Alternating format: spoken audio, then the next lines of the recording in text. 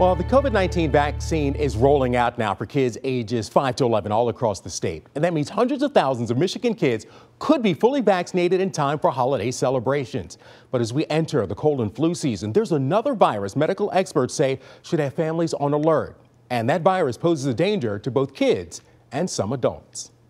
Since 1972, Central City Integrated Health has been providing comprehensive health care to the people of Detroit and Wayne County. This year, the team is expecting a growing number of cases of respiratory syncytial virus, or RSV. With kids back in school, back in preschool, back in daycare, the interaction between them, the particles are spreading, and that's why we're seeing it. Dr. Jasper Gill is Central City Integrated Health's chief medical officer, and he says the symptoms of RSV can be difficult to distinguish from a cold, runny nose, cough, sneezing, fever, and wheezing. But the symptoms usually appear in stages and not all at once. In infants, the only sign of RSV may be irritability, less energy, and breathing difficulties. And in kids under one, RSV is the most common cause of pneumonia and a condition called bronchiolitis, which is an inflammation of the small airways or a pneumonia in the adult. That's also another time to be evaluated, um, either at your physician or in the ER, depending on severity. So we've already started seeing more RSV cases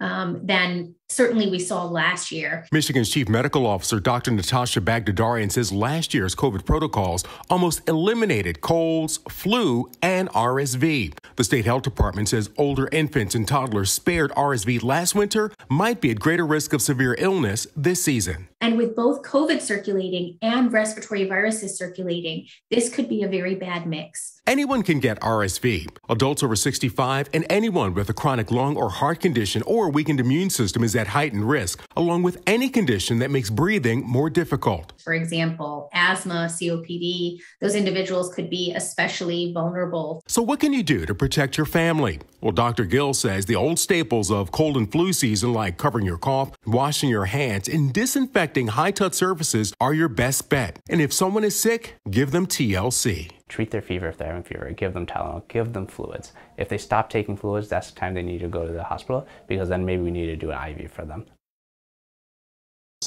1 to 2% of young infants with RSV may need to be hospitalized, according to the CDC. But the good news is most children will recover. Now, there is a medicine that can help protect babies at high risk for severe C, uh, uh, RSV disease. It's a series of monthly shots given to premature babies and infants with certain lung or heart conditions. But so far, there is no vaccine to prevent RSV. Pfizer and Sanofi are both working on a vaccine, so we could have one shortly for both older adults and for babies. But for now, you just have to treat the symptoms.